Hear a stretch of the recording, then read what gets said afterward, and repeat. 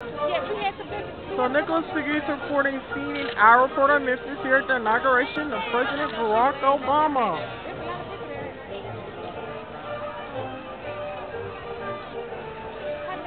Very historic day today.